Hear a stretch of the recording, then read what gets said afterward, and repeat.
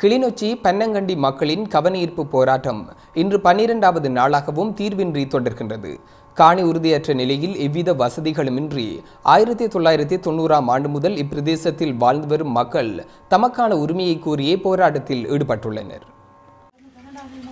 கடந்த ஆயிரத்தி தொள்ளாயிரத்தி தொண்ணூறாம் ஆண்டு முதல் இப்பிரதேசத்தில் எவ்வித வசதிகளுமின்றி வாழ்ந்து வரும் பன்னங்கண்டி மக்கள் கடந்த பனிரண்டு நாட்களாக கவனஈர்ப்பு போராட்டத்தில் ஈடுபட்டு வருகின்றனர். யுத்த காலத்தில் முகாம்களில் தங்கியிருந்து பின்னர் மீள்குடியேற்றப்பட்ட தாம் எந்தவித அடிப்படை வசதிகளுமற்ற நிலையில் வாழ்வதாக தெரிவித்த மக்கள் தமது கோரிக்கை நிறைவேற்றப்படும் வரை போராட்டத்தை கைவிடப் போவதில்லை எனவும் கூறியுள்ளனர்.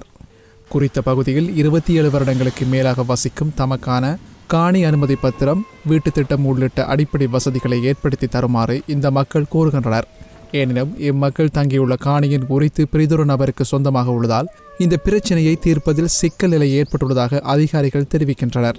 ஆயினும் இம்மக்கள் பல வருட காலமாக தகர கொட்டில்களில் வசித்து வரும் நிலையில் காணி உரிமையாளரிடம் பேசி உரிய நடவடிக்கை எடுக்க வேண்டும் எனவும் இல்லாவிட்டால் இம்மக்களுக்கான மாற்று நடவடிக்கை முன்னெடுக்கப்பட வேண்டும் எனவும் கோரப்படுகின்றது.